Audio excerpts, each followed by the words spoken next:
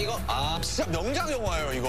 호구차 세 번 봤어요. 너무 울어가지고. 이게 진짜 픽사가 뭐, 아, 말이, 말이 안 돼요. 울진 않았는데 전반적으로 저는 디즈니 영화들이 굉장히 또 좋죠. 어, 감성을 잘 자극해요. 알라딘 너무 좋아했습니다.